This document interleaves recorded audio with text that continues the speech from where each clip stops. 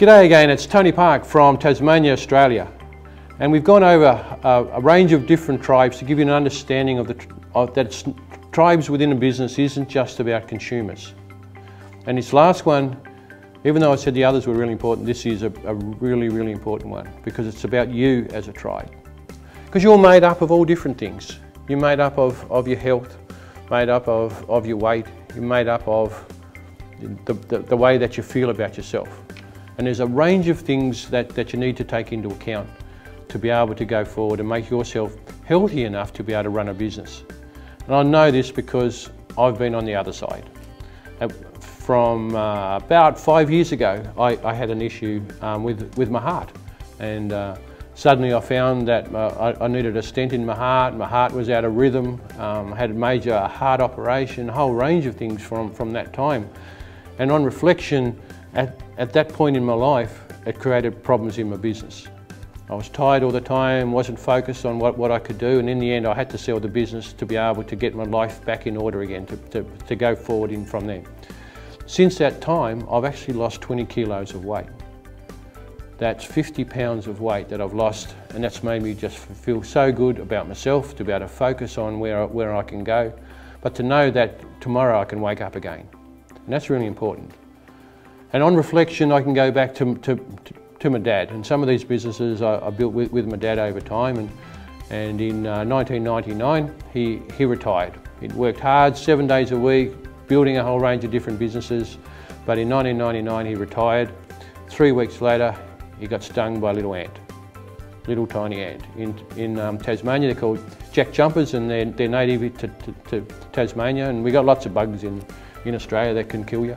Um, but you just got to be, in general, you have to be careful. But he was allergic to this, this ant, and within a, a few minutes, um, he'd, he'd died.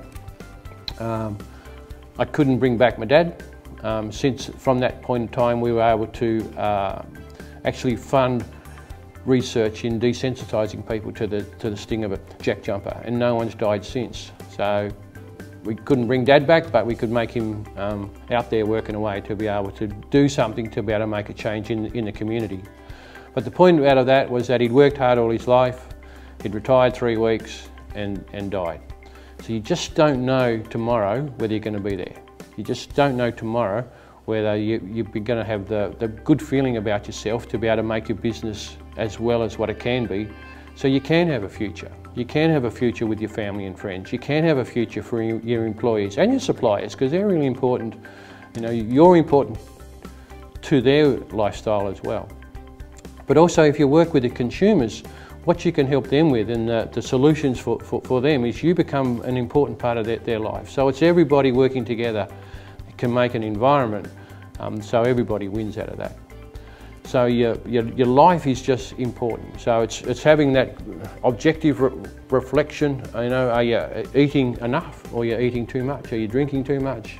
Um, have you time for yourself to be able to feel that, that you got that, for some spirituality, for others that, that feeling of nature and that, and that, that general re reflection. Because at some point you won't be here. At some point um, you just be um, uh, memory of people. So it's important that that's a good memory. So this is a, a, an important part of, of where you as a business and you should make that reflection on, on, that, on your business so you are doing what you want to do out of, out of life. Thanks for watching this video. If you'd like to learn how I've helped businesses all over the world create over $150 million in value with their business tribes, then make sure to click the link in the description and head over and sign up for the free training I'm hosting.